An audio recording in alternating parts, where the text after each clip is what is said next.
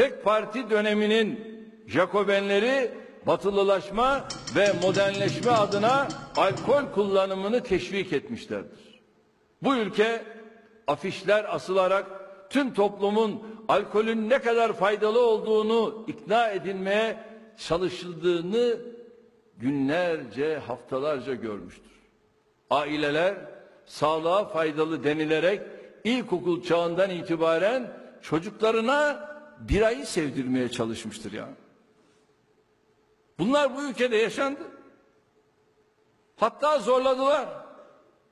Tarih kitaplarını karıştırdığınızda maalesef Atatürk Orman Çiftliği'nde ellerine bira şişeleri tutuşturulmuş çocuk fotoğrafları görürsünüz. Bunlar vaka.